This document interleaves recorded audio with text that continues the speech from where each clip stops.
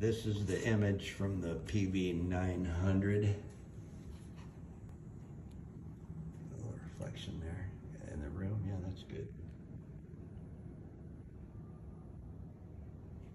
You can see, like, Camera. right now, I've still got the screen locked. Oh, okay, yeah, so that's the, the lock screen and then the image. It's a good image.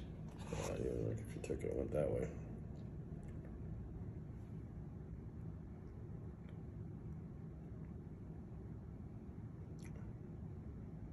It's a good clear picture. Mm-hmm.